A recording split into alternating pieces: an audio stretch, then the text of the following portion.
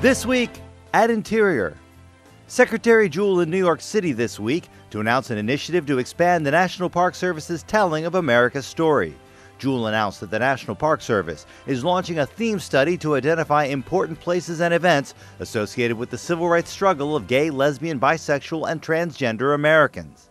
The announcement was made at the Stonewall Inn, the site of the 1969 riots that helped launch the modern gay rights movement. It's currently the only LGBT associated site that has been designated a National Historic Landmark. The LGBT theme study is part of a broader Obama administration initiative to tell a more complete story of the people and events who have made significant contributions to our nation's history and culture. The National Park Service has other ongoing heritage initiatives, including studies related to Latinos, women's history, and Asian American and Pacific Islanders. To find out more about the National Park Service's theme studies, check out nps.gov. Secretary Jewell joined Second Lady of the United States, Dr. Jill Biden, in Seattle this week for a panel discussion to spotlight best practices to help strengthen and build 21st century workplaces. That panel comes in advance of next month's White House Summit on Working Families.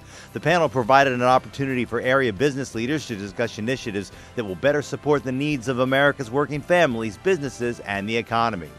As hurricane season gets underway in June, the USGS is launching a new crowdsourcing application that shows coastal changes from extreme storms. It's called iCoast Did the Coast Change? And it'll allow citizen scientists to identify changes to the coast by comparing aerial photographs taken before and after a storm. Analyzing the pictures to identify storm damage will help coastal scientists refine their predictive model of coastal erosion and the damage caused by extreme storms. Check out the new app at usgs.gov. And new images of last week's celebration of the Organ Mountains Desert Peaks National Monument. Hundreds of members from the local community and businesses joined together to applaud the president's action to protect the spectacular area in Las Cruces, New Mexico. Secretary Jewell called the area one steeped in culture, history, wildlife, and recreational opportunities. Before the celebration, she joined U.S. Senator Tom Udall, BLM Director Neil Kornze, and White House CEQ Acting Chair Mike Boots for a hike through the famous Dripping Springs natural area. That's this week at Interior.